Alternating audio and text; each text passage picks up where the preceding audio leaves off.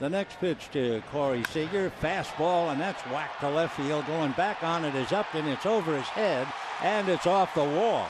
Utley will score into second base goes Seager, and the Dodgers on back-to-back doubles lead one to nothing.